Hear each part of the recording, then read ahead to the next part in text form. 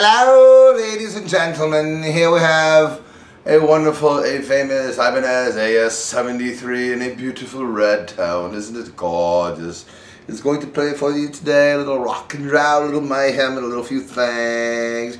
We have a Behringer Fab metal pedal, and we have a Digitech grunge pedal. By itself, the guitar sounds like this.